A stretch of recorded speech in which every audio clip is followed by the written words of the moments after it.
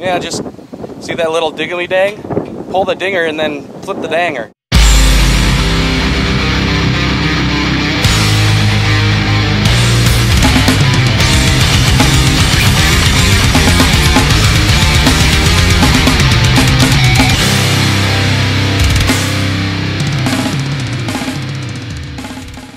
You know, fly fishing for muskies, when you stop and break it down, is actually a pretty dumb idea. Stupid. Every time I've been out fishing for these fish, I've had an opportunity. First challenge was getting them to eat, I just, I don't know, I freak. then you got getting a hook into them. casting, you know, really heavy lines, big flies with heavy rods. Where your fingers are cramped into position from stripping line. Forearms are really are really sore. You know, and you know you're crazy, Musky, musky, musky. but you do it for that second of hope that this might actually come together. Forcing dead presidents to rock my tongue shot. So let's start from the beginning. It is a cool, crisp morning here in the land of 10,000 lakes, Minnesota, the Twin Cities to be specific, and I am on my way to the airport to pick up Rich Hahn of Simms fame. Hey, buddy. And once I have secured Sir Richard Hahn, we are going straight to a metro area lake to start chucking flies at muskies. How the f did we get involved in this whole thing? I don't know. Now, Robert Hawkins, he owns Bob Mitchell's Fly Shop in Stillwater, Minnesota. He was kind of the ringleader that sort of coordinated all this for me and Rich. Uh, yeah, born and raised in Montana. Moved out here almost two years ago now. You know, I kind of started dipping my uh, my uh, rod in the in the warm water scene a little bit, and I really got addicted really fast. Yeah, know, there's planes landing right over our heads. You wanted it. You got every bit of it. We moved some fish. Joe caught some pike. You know, we were definitely thinking, hey, wouldn't it be cool to just kind of get one right out of the gate? But, you know, it was more of just sort of easing into the next three hard days that we were going to have on the water. All right, day one tally five fish moved, one a confirmed muskie, one pike in the boat. That night, we drove out to Robert's shop, and that's where we met the two next characters in this epic Russ Gontarek and Gabe Schubert. I am really not a big deal, but I pretend as much. How many muskies have I caught in my lifetime? Mid mid twenties. And then you've got Gabe, who sort of has that Captain Quint thing going on. I haven't broke the 50 mark yet. I've had them on, but still looking to land one. Gabe's like the the muskie guru of all time around here. So you might notice that we're a little vague on location. Yeah, so it's it, these guys are pretty protective of their water. But suffice it to say, we made a long drive to a completely different body of water the next morning. What is this now? This be the musky warhorn. I scrim shot it. I've always wanted to scrim shot something. 10,000 pound drift boat.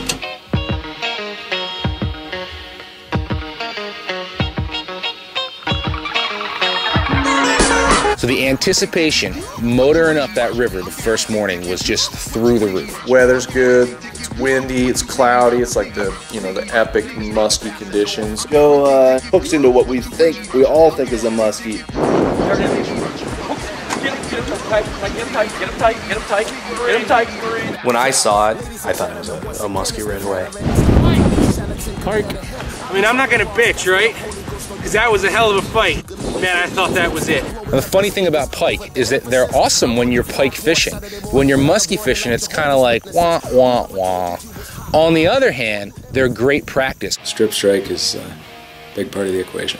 If you lift the rod like you're trout fishing, you are done. Robert is the most, he's the worst trout setter I've ever seen in my life. Every time I get a swoosh or a, a swirl, it's just straight up. Gabe just moved a big fish right next to us over there. There was definitely some, uh, some action. They just had another one follow. Jesus! Keep her, keep her stripping, stripping. Saw one move off of a log, which is super exciting. Big fish. Big fish follow. Big follow. Hey, hold off here. Big, we had a big fish follow. We'd flash a fish, we'd throw back, and we could never get it to move again. It was like a one-shot deal. Then we hear Robert just screaming from about 100 yards away that he's they've seen this Goliath. Your hand still shaking, brother? Dude, I've never in my entire life seen a fish that big behind my fly. You know, and then here's where we screw up. Yeah, I usually would never leave the water when I know there's fish there, but Gabe's really kind of the guru here, so I trust his judgment, and we're gonna go find out. And then everything just fell apart. You don't freaking leave fish to find fish. And Now we're driving around lost. Look, look, he's going back down the dead end. We just came from there. She's telling him where the muskie is. The boat ramp that the guys used to use was no longer there. So we found this weird part. Feels public. Time is taken away. It just didn't feel right. It didn't feel the same. It didn't feel as fishy, and we did not move anything on our boat. And I, I blame Gabe, probably solely. I think it's his problem, not ours.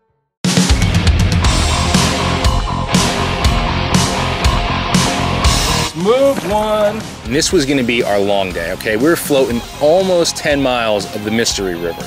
Weather again is perfect. The ceiling's low. It feels just super fishy. Started out very promising. I ended up getting a follow by about a 47, 48 inch fish. We fished a ton of good water, and we moved just between the two boats just a few fish. It was not, you know, how many muskies can we catch? It was, can the team catch a muskie on the fly? How you like that? Just like frustrating.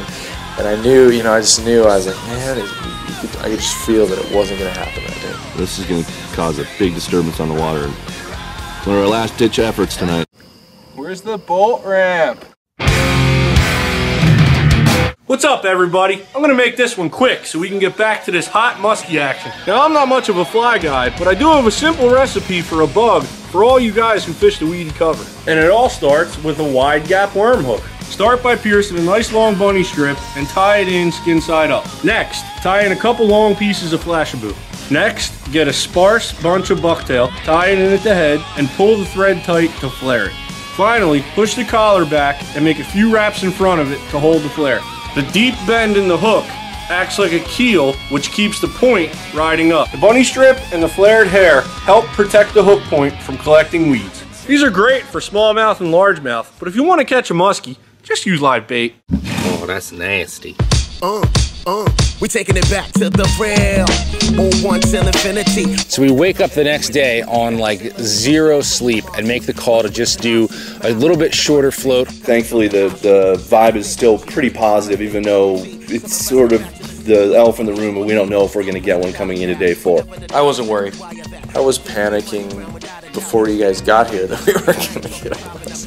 One single cast can turn a whole trip around. Dude, dude, dude, dude, dude, dude, dude, dude, dude. Rich strip strikes, whack. I called out, I shouted muskie. That was close. Oh, oh my god. There we had It, it had a little bit of girth. It was the right kind of hit, and it was just another big pike.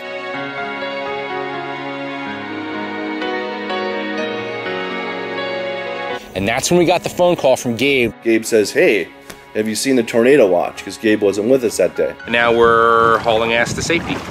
So we just tied the boats up to trees on the side of the river, threw off our rain gear, and walked into town. And we're like, you know, let's just drink Bloody Marys.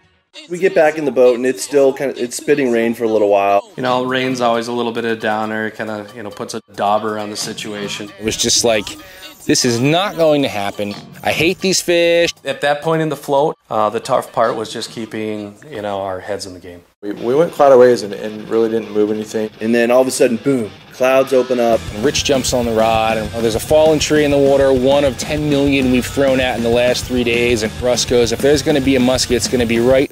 Rich. Keep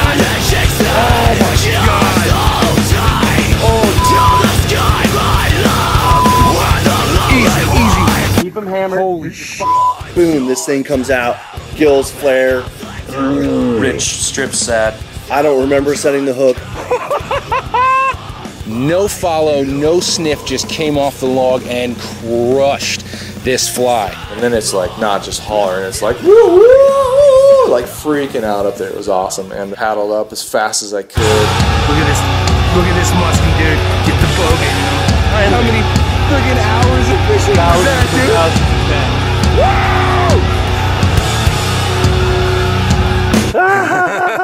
Forty-two inches. It was a frenzied moment, and you could feel the pressure get let out of the place for sure. Last final hour, man. And it was just like euphoria. It was like this was the culmination of all the pain and all the Advil, and we finally get to blow the musky war horn.